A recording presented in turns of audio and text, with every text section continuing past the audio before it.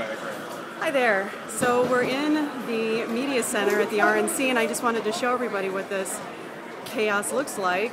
And so I'm going to show everybody back at home so you can see all this fun uh, stuff for yourself. So here we go. I'm going to do a tour.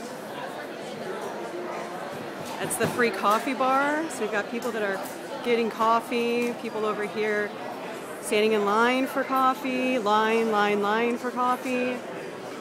Over there you'll see rows and rows of media.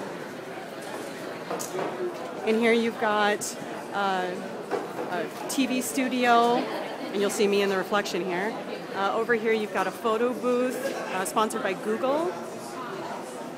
And then in the back here you've got a full digital center, cafe style setup, where everybody is just plugging in and getting their work done sitting in all kinds of interesting little spaces.